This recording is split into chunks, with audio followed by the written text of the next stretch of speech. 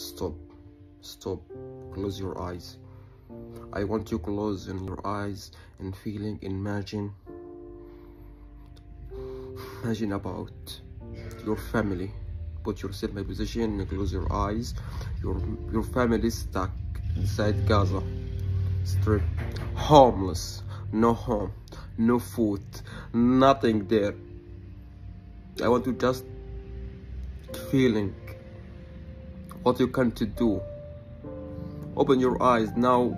Mm -mm, that you're just imagine. But you are safety. Your family safety. But not us. My my family is homeless in the street.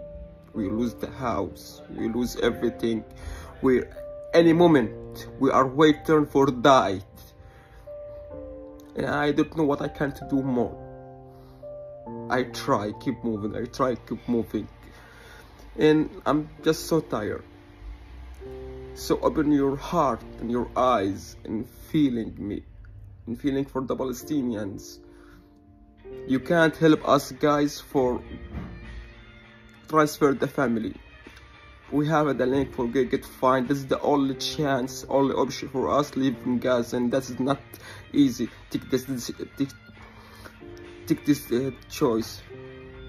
So for everyone he cared about the palestinians for everyone he want help me please open my account. You will find the link side by your tree link. Share the link for good, get fight with anybody you can anybody he can't help us please guys. Do it donate for one dollar. He will be close one step for survive. 21 percent the most my numbers my family children.